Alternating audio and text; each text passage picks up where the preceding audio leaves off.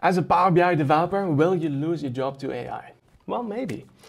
AI can already write DAX formulas and code, create visuals, and create entire reports with just one prompt. So it's super impressive. Maybe not perfect yet, but it's getting there.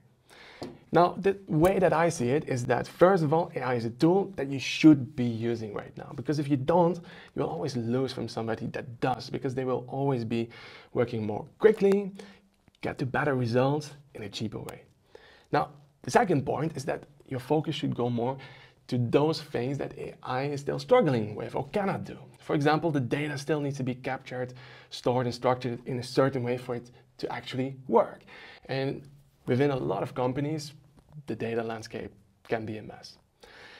Another element where AI still struggles is to really understand your business model of your organization and the internal company politics. It will not understand that part. Now also to build trust around the results that it produces, there's still a human element necessary there. Now, it is out of question that AI is changing the game and evolving fast. However, you need to evolve with it. You need to change the way that you work, what you focus on, and also develop your skills further. However, with every big change, there is always a risk. However, if you're one of the early adopters, you will not just survive. There's also a lot of opportunity. You might actually come out ahead.